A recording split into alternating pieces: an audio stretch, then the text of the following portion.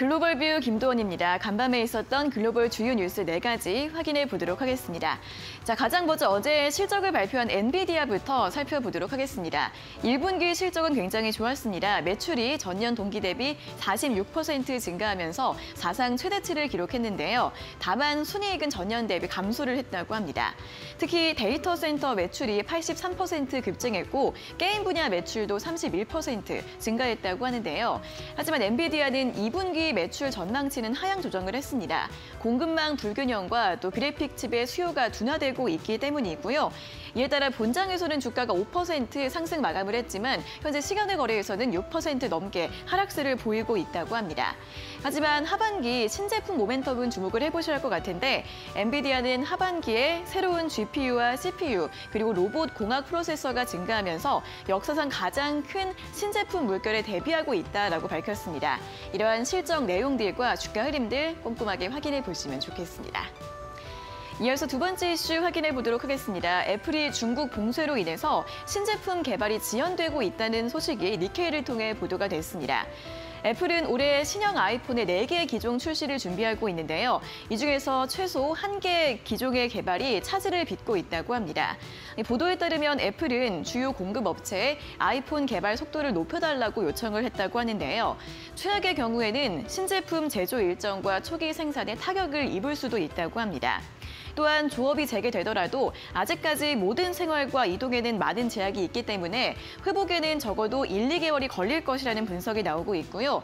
또 중국 봉쇄로 인해서 애플의 4월에서 6월 분기 매출이 최대 80억 달러 감소할 것이라는 분석이 나오고 있는 상황입니다. 이러한 또 애플의 관련 소식들도 함께 살펴보시면 좋겠습니다. 자, 다음 이슈 확인해 보도록 하겠습니다. 미국의 대표 항공기 제조업체인 보잉의 주가가 올해 들어 크게 하락세를 보이면서 월가에서는 저가 매수 기회다라는 분석들이 나오고 있습니다. 이 보잉의 주가는 올해 들어서만 42%, 특히 최근 한 달간 32% 급락을 했는데요. 1분기 실적이 시장 기대치를 크게 밑돌았기 때문입니다. 이유는 매출 비중이 가장 높은 상업용 항공기와 방위사업부의 매출이 작년보다 크게 감소했기 때문이고요. 특히 또 경 쟁사 에어버스 대비해서도 인도량을 비교해 봤을 때 굉장히 부진한 모습이 이어지고 있다고 합니다. 하지만 최근 월가에서는 저점 매수 의견을 내놓고 있는 상황인데요. 평균 목표 주가가 221달러 선으로 최근 종가 대비 80% 이상의 상승 여력이 남아 있는 수준인데요. 또 보잉의 흐름들도 앞으로 확인해 보시면 좋겠습니다. 자, 마지막은 테슬라 관련해서 살펴보도록 하겠습니다. 최근 600달러 선까지 밀렸던 테슬라가 간밤에는 상승 흐름을 보였습니다. 두 가지 호재가 있었는데요. 첫 번째는 캐시우드의 저가 매수 소식입니다.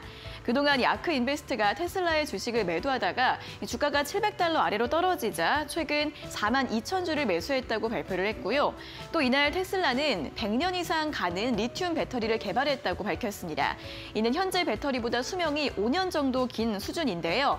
이에 따라 간밤 테슬라는 5% 가까이 상승 마감을 했고 이 밖에도 리비안과 루시드, 니콜라 등 전기차주들이 일제히 상승하는 모습이었는데요. 또 오늘 국내 관련 2차전지주들의 흐름들도 함께 확인해 보시면 좋겠습니다. 여기까지 글로벌 주요 뉴스 4가지 모두 확인해 보셨습니다.